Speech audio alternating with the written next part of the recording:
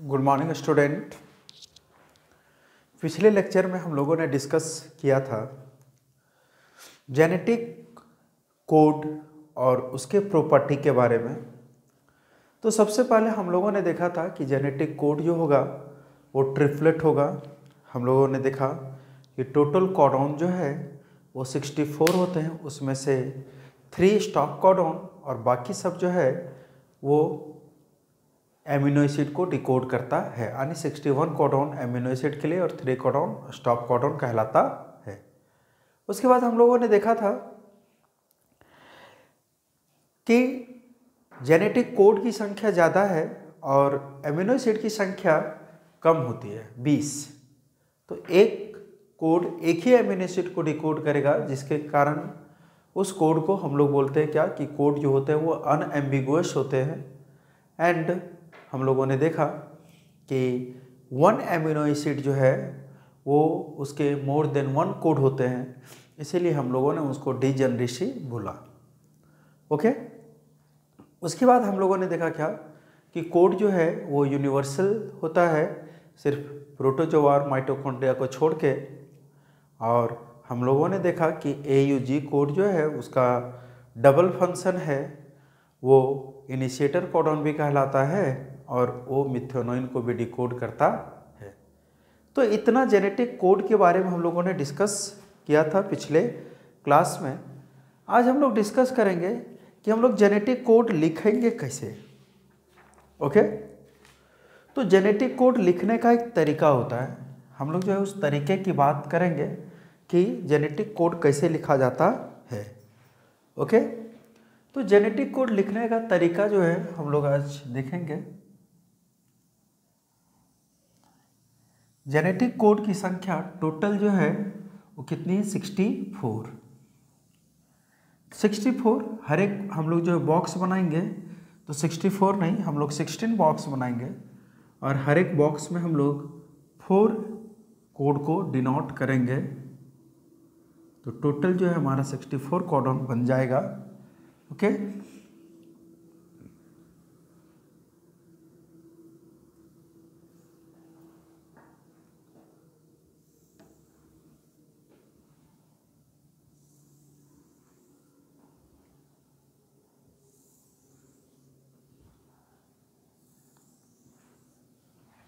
Total जो है वो हम लोगों को सिक्सटी फोर कोड बनाना है।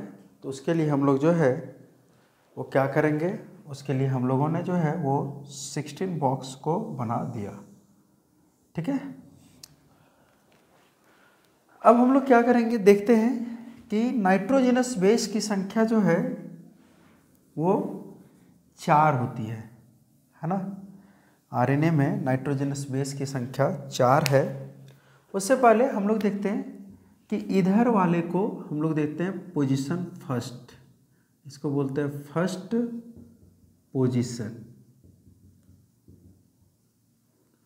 इधर वाले को बोलते हैं यहाँ से,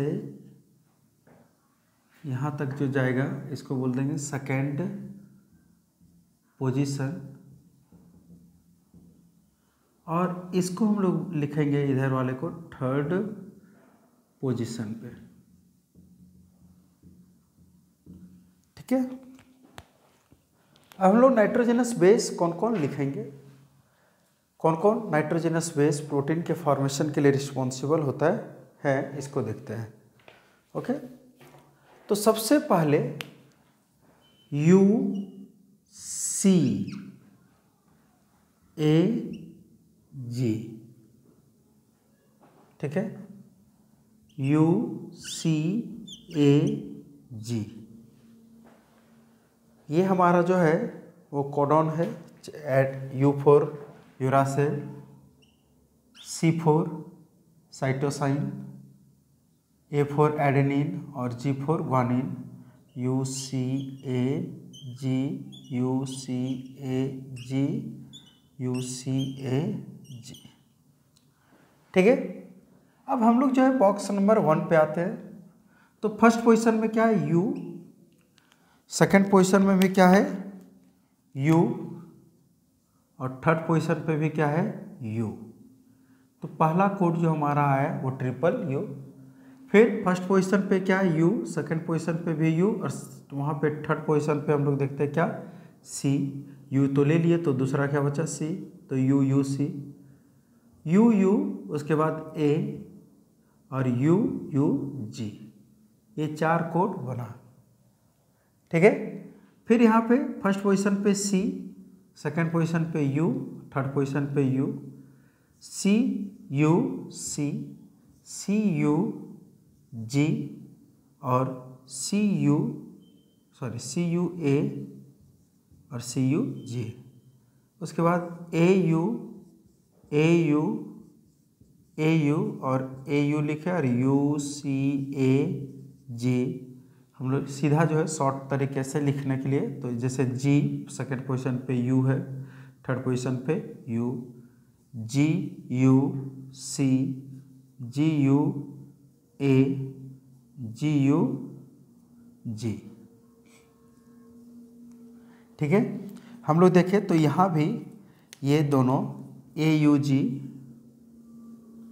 और जी यू जी ये दोनों इनिशिएटर कोडॉन का काम करता है। ठीक है? उसके बाद जो है, हम लोग यहाँ देखें सेकंड बॉक्स पे आ जाए।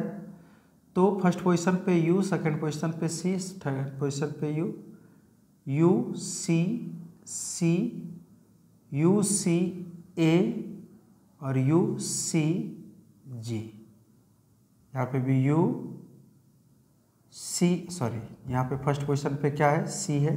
तो सी सी यू सी सी सी सी सी ए सी सी जी यहाँ पे ए C U A C A A C ji sorry A C A C C A C A A C G यहाँ पे जी C U G C C ji C A और जी सी जी ठीक है? उसी तरह यहाँ पे आ जाए तो यहाँ पे भी U A U U A C U A A और यू ए जी यहाँ पे यू यहाँ पे क्या हो जाएगा? फ़र्स्ट पोजीशन पे सी ए you C A C C A A और सी ए जी यहाँ पे हो जाएगा ए ए U A A C A A A और ए ए जी ठीक है? यहाँ पे क्या हो जाएगा? जी A U G A C ji A A और जी ए जी ठीक है? यहाँ पे क्या हो जाएगा? U G A U G C U G sorry U G U U G A U G G यहाँ पे हो जाएगा सी जी यू सी जी सी सी जी ए सी जी जी यहाँ पे हो जाएगा ए G U A ji C A ji A A ji G यहाँ हो जाएगा जी जी यू जी जी सी जी जी ए और जी जी जी तो टोटल जो है, हम लोगों ने कितने कॉडोन को देख लिया? 64 कॉडोन ठीक है? उसमें से हम लोग देखते हैं क्या? कि you A A U A जी और यू जी ए है ना? एक, दो और एक ये तीन। ये दोनों जो है, वो स्टॉप कॉडोन स्टॉप ये भी क्या हो जाएगा? स्टॉप कॉडोन ये क्या है? ये तो है मिथ्योनिन को डिकोड करेगा, इसको हम लोग इनिशिएटर कोडोन बोलते हैं। तो यहाँ से हम लोग चाहे तो ये हर एक कोड को अगर देखें तो ये किसी ना किसी एमिनो को डिकोड करता है। जैसे अगर हम लोग देखें कि ये दोनों कोड जो है, वो होता है किसके लिए? फिनाइल अनाइन के। और ये दोनों कोड जो होता है, वो होता है किसके लिए? ये दोनों नहीं, ये दो और इधर से भी चार तो ये लिवसिन के लिए होता है है ना? किसके लिए? ये पूरा जो है यहाँ तक यहाँ लिवसिन के लिए होता है। ठीक है, लिवसिन नाम के कोड को डिकोड करता है। उसके बाद ये तीनों जो है, सॉरी, ये नहीं ए यू जी कोड नीचे था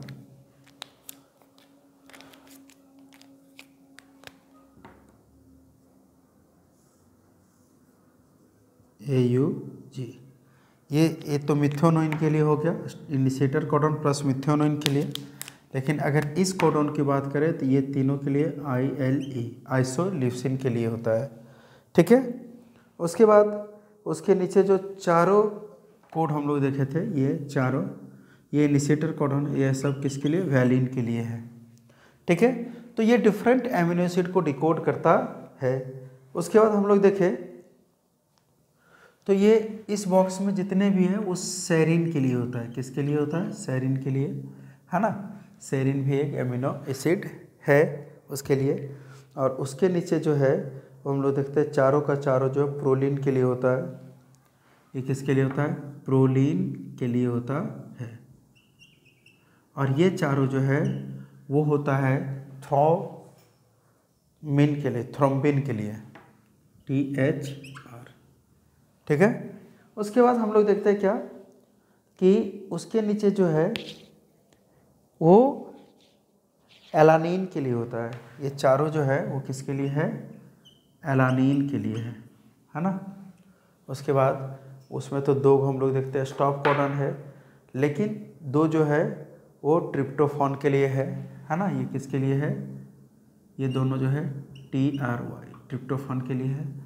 उसके बाद जो है, दो गो जो है, वो क्या आपका स्टॉप कोडोन है, और फिर उसके नीचे दो जो है, वो हिस्टाटिन के लिए है और ये दो जो है, वो गुला सी ए ए और सी ए जी तो सी ए ए और सी ए जी जो है, वो ग्लाइसिन के लिए जी एल एन के लिए है।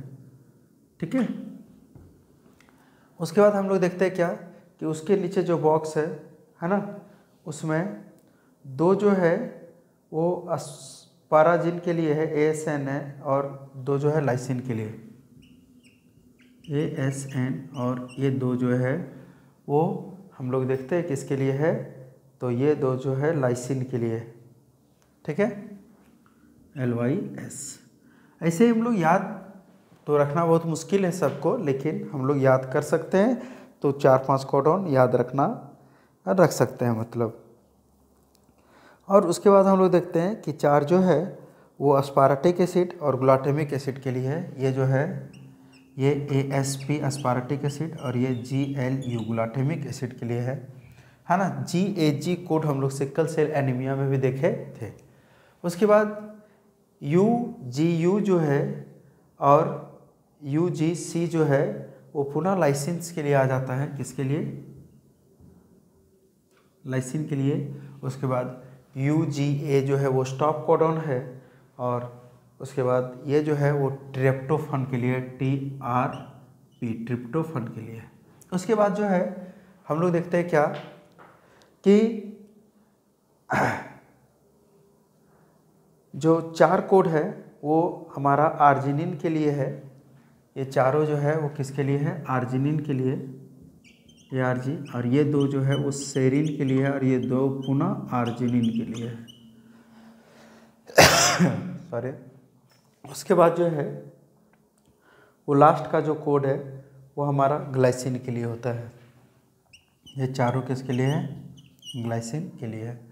तो ये टोटल जो एमिनो एसिड हुए, है ना टोटल जो जेनेटिक कोड हुए, ये टोटल जेनेटिक कोड और इसको हम लोग, ये कोड जो है वो किसको डिकोड करता है? एमिनो एसिड को।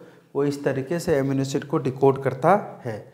ये एमआरएनए के ऊपर मिलेगा और इन सारे कोडों को रीड करेगा कौन? टीआरएनए और उसके अनुसार जो है वो प्रोटीन का सिंथेसिस होता है। तो ये आप लोग देख लिए। अब इसके आगे हम लोग जो है डिस्कस करते हैं। है ना? जेनेटिक कोड यहीं पे ख़त्म होता है। ठीक है? और हम लोग जो है वो डिस्कस करते हैं। नेक्स्ट टॉपिक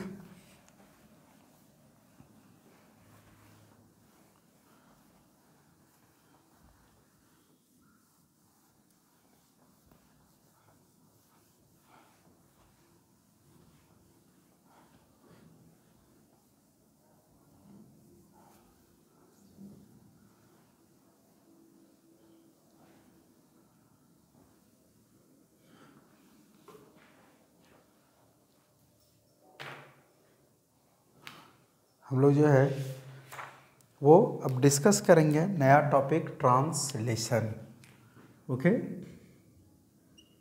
ट्रांसलेशन तो ट्रांसलेशन क्या है? हम लोग बोलते हैं biosynthesis of protein bio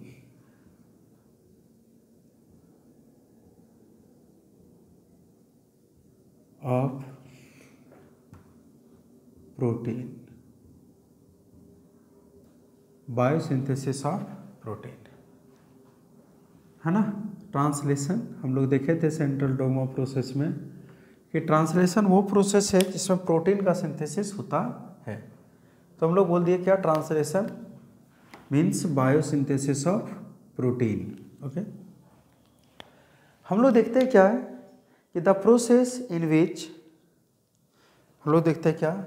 कि the process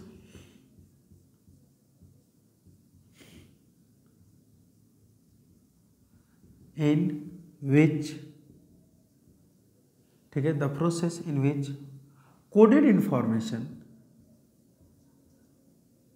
information coded information जो कोडेड फॉर्म में फॉर्म में इंफॉर्मेशन रहता है है ना? या coded information brought by M R N A brought by M R N A from D N A ठीक है कहाँ से आता है ये? एम आर एन ए के पास डी एन ए से आता है। ये change into is change into polypeptide polypeptide chain किसमें चेंज कर जाता है पॉलीपेप्टाइड चेन में। और आप देखोगे कि ये जो पॉलीपेप्टाइड है ओके इसी पॉलीपेप्टाइड को हम लोग क्या बोलते हैं? पॉलीपेप्टाइड चेन एमिनो एसिड से बनता है और इसी को हम लोग बोलते हैं क्या? प्रोटीन पॉलीपेप्टाइड चेन क्या कहलाता? है प्रोटीन कहलाता है, जो किससे बनता है? एमिनो एसिड से बनता है। तो हम लोग देखते हैं क्या? कि जो कोडेड इन्फॉर्मेशन किसके पास होता है? एमआरएनए के पास, brought by mRNA from DNA कहाँ से लाता है ये? डीएनए से वो चेंज कर जाता है किसमें? तो प्रोटीन के फॉर्म में वो चेंज कर जाता है, या पॉलीपेप्टाइड के फॉर्म में चेंज कर जाता हम लोग देखते हैं the sequence of amino acid the sequence sequence of amino acid the sequence of amino acid जो एमिनो एसिड का सीक्वेंस होता है है ना in protein amino acid in polypeptide chain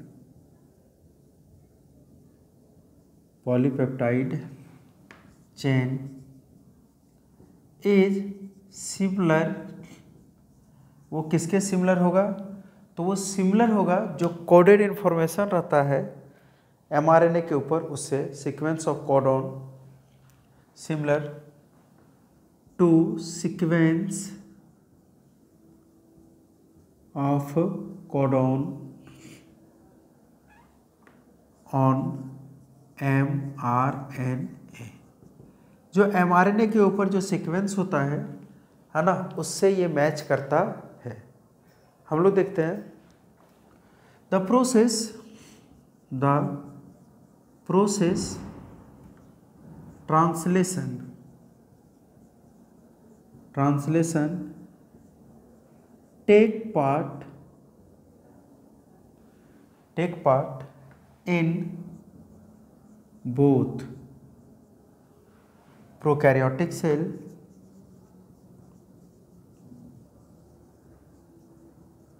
prokaryotic cell and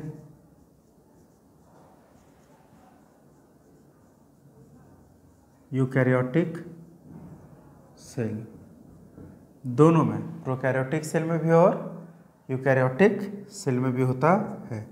हम लोग देखते हैं कि in eukaryotic cell in eukaryotic cell किसमें यूकैरियोटिक सेल में in eukaryotic cell translation translation also take part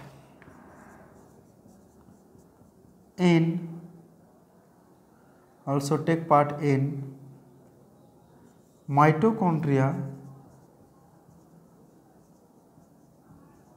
and chloroplast ठीक है? ये जो है माइटोकॉन्ड्रिया और क्लोरोप्लास्ट दोनों में होता है। यूकैरियोटिक सेल में ट्रांसलेशन जो है, वो माइटोकॉन्ड्रिया और क्लोरोप्लास्ट दोनों में होता है। ठीक है?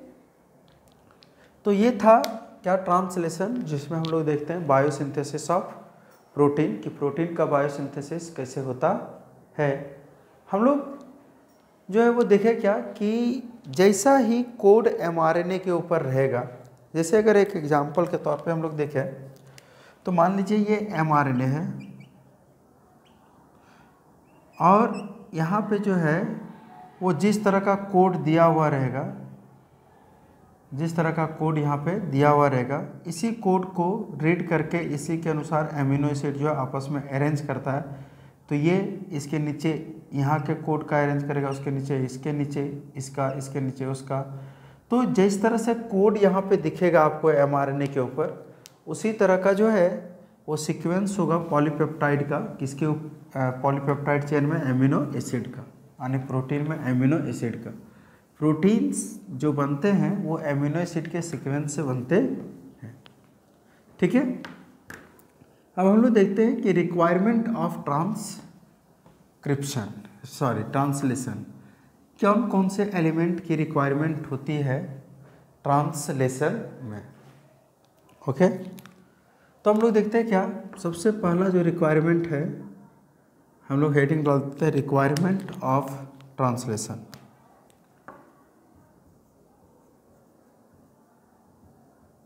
requirement of translation requirement of translation तो रिक्वायरमेंट जो होता है ट्रांसलेशन का, वो सबसे पहला होता है राइबोजोम का, क्योंकि यही वो ऑर्गेनिल्स है या वही वो पार्ट है जहाँ पे प्रोटीन का सिंथेसिस होगा। दूसरा, amino acid. Amino acid. Amino acid वो, इससे प्रोटीन बनता है। तीसरा M R N A messenger RNA इसी के पास मैसेज होता है, जिसके अनुसार एमिनो एसिड अटैच करता है। और टी आरएनए इसको बोलते हैं ट्रांसफ़र आरएनए जो एमिनो एसिड को राइबोसोम तक लेकर के जाएगा। उसके बाद है कि और किसका? Aminoacyl T R N A synthetase. T R N A synthetase.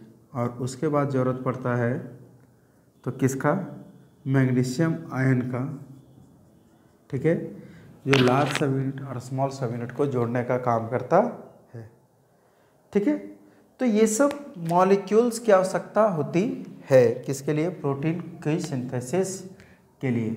इसमें सबसे सिंपल हम लोग सबसे पहले देखते हैं किसका? राइबोजोम का। ओके तो राइबोजोम क्या है? हम लोग बोलते हैं it is an important it is an important membrane important membraneless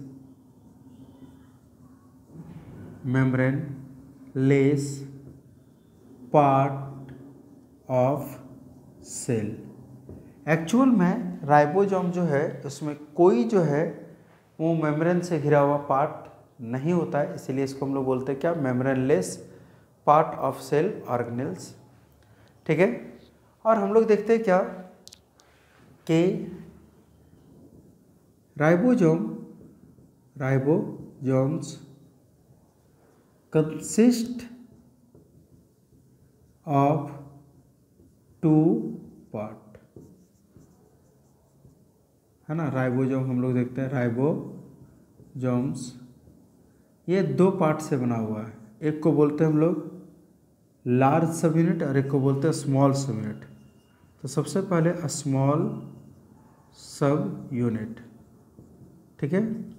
तो स्मॉल सब यूनिट में हम लोग क्या देखते हैं? Having area having area for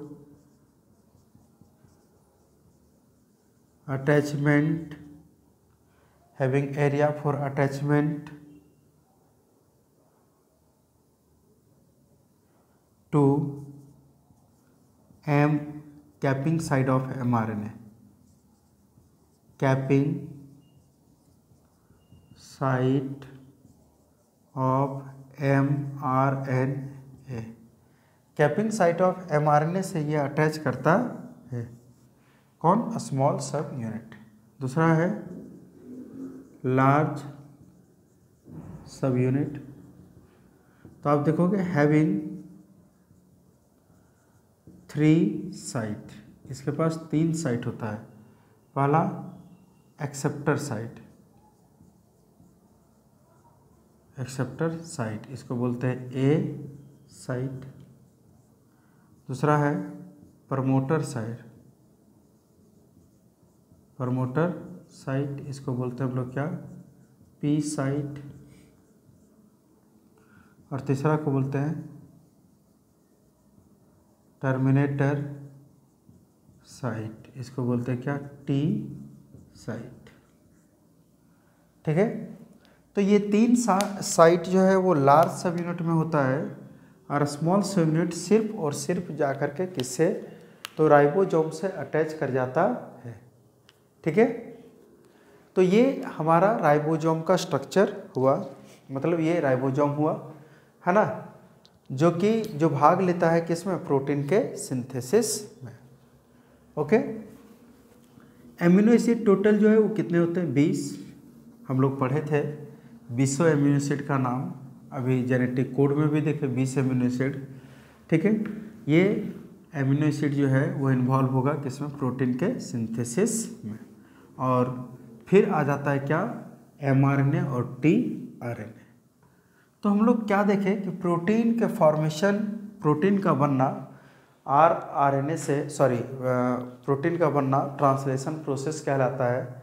और ये बहुत ही जो है, वो इंपॉर्टेंट प्रोसेस है जो हमारे बॉडी के साइटोप्लाज्म में होता है और सेल के साइटोप्लाज्म में होता है है ना? With the help of different molecules एक फ़ंक्शन परफॉर्म होता है। तो आज के लेक्चर में हम लोग इतना ही देखते हैं। अगला जो लेक्चर होगा हमारा, उसमें हम लोग डिस्कस करेंगे करेंगे टीआरएनए और एमआरएनए के बारे में। उसके बाद हम लोग देखेंगे step involve in translation okay तो आज के लेक्चर में इतना ही। Thank you